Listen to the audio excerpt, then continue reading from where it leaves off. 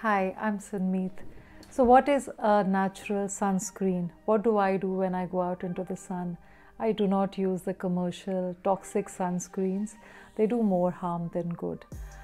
So, I make a blend of aloe vera gel and a carrier oil. Carrier oil you can choose between coconut oil, sesame oil, or raspberry seed oil.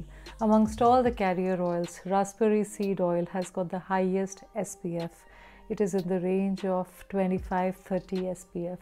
So you add 10% of raspberry seed oil to 90% aloe vera gel.